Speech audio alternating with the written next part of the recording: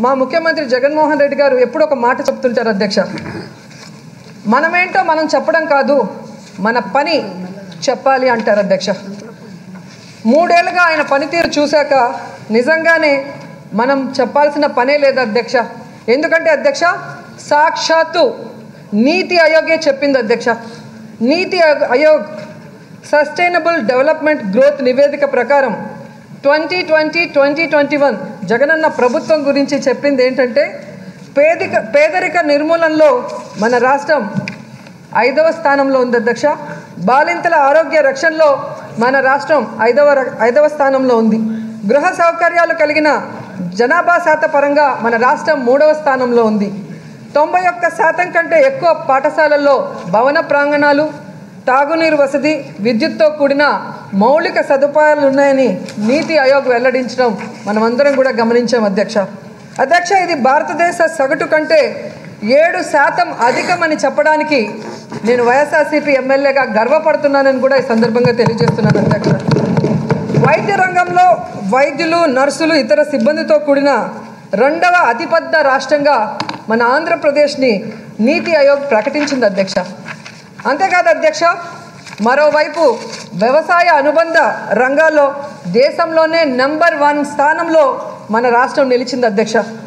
అధ్యక్ష కేంద్ర ప్రభుత్వం ప్రకటించిన గుడ్ గవర్నెన్స్ ర్యాంకుల్లో కూడా ఫస్ట్ ప్లేస్ సాధించింది అధ్యక్ష మన ప్రభుత్వం. గతంలో ఎన్నడూ కూడా ఏపీ వ్యవసాయాన్ని వ్యవసాయ రంగానికి రాని ర్యాంకు ఈరోజు వచ్చింది అంటే అది కేవలం జగనన్న పాలన వల్లే అని గర్వంగా చెప్పగలను అధ్యక్ష. అంతేకాదు అధ్యక్ష ప్రపంచమే అతలాకుతలమైపోయిన కరోనా విపత్తుని సమర్థవంతంగా ఎదుర్కోవటంలో దేశంలోనే మూడవ ర్యాంక్లో ఆంధ్రప్రదేశ్ నిలిచింది అని చెప్పుకుంటున్న నిలిచింది అని చెప్పుకోవడానికి చాలా గర్వపడుతున్నాం అధ్యక్ష.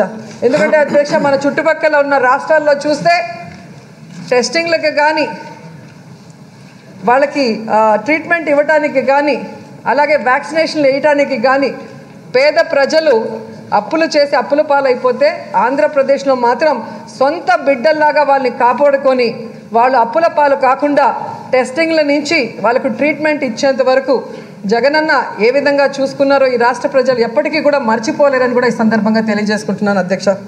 అందుకే అధ్యక్ష ప్రధానమంత్రి నుండి ఒడిశా సీఎం కేరళ సీఎం పక్క రాష్ట్రాల మంత్రులే కాకుండా కేంద్ర మంత్రులు కూడా మన జగనన్నని పొగ పొగడటం అనేది మనందరం కూడా గుర్తుంచుకోవాలి గర్వపడాలని కూడా ఈ సందర్భంగా తెలియజేసుకుంటున్నాను అధ్యక్ష.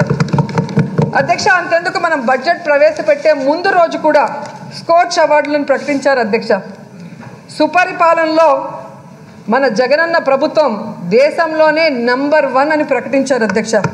వరుసగా రెండవ ఏడాది మన ప్రభుత్వం తొలి స్థానాన్ని దక్కించుకుంది అధ్యక్ష.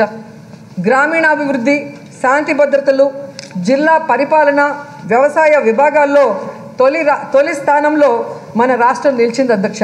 అందుకే అందరూ అంటారు అధ్యక్ష తిరుపతిలో మా వెంకన్న ఫేమస్ బెజవాడలో మన కనకదుర్గమ్మ ఫేమస్ అలాగే వైజాగ్లో సింహాద్రి అప్పన్న ఫేమస్ సుపరిపాలనలో మా జగనన్నే ఫేమస్ అని చాలా సంతోషంగా చెప్పుకుంటున్నాం అధ్యక్ష.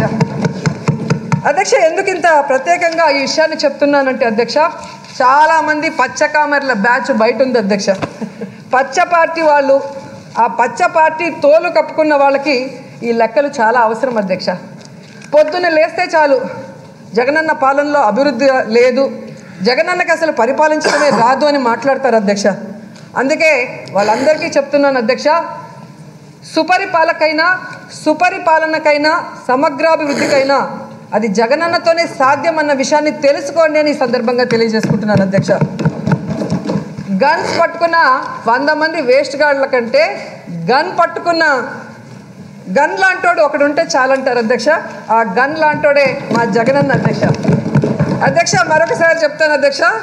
గన్ పట్టుకున్న వంద మంది వేస్ట్ గార్డుల కంటే గన్ లాంటోడు ఒక్కడుంటే చాలంటారు అధ్యక్ష. ఆ గన్ లాంటోడే మా జగనన్నని కూడా ఈ సందర్భంగా తెలియజేసుకుంటున్నాను అధ్యక్ష.